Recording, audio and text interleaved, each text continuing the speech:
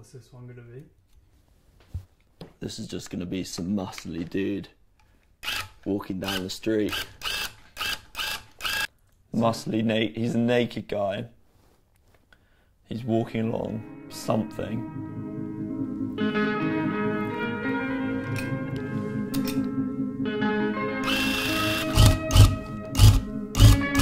It's called Charlotte's Barbecue because um, it's got a spider from like Charlotte's Web who's very good friends with a pig. There's a sausage web coming out of the spider's bum, um, and the flies are caught in it. And then there's a little frog hiding behind the things just to add a frog in there. And then uh, down in the bottom left, there's Spider Man riding a pig. There's not much meaning to that one, to be honest. That's just two naked people. and then on the left, you've got a lion that's whipping some dude's ass with with his tail. Um, oh, to be honest, that's sort of it. I'm Teddy Hansen, and I breed and train up frogs. I um, and I'm an artist.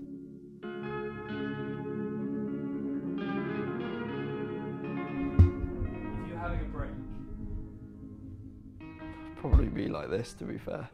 Probably. Oh, I don't know. You know when you overthink like the smallest things, like how you walk, and then you start walking weirdly.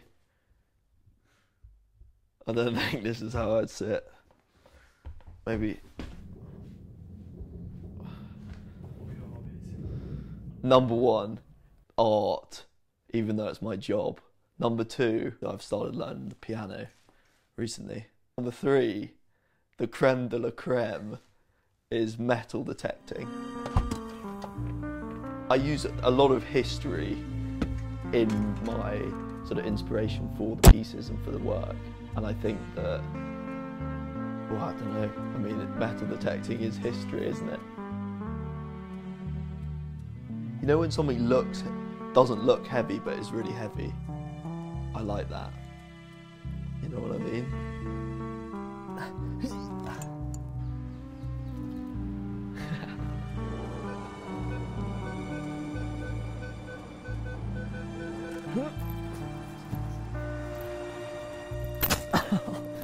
Of an L pen bar.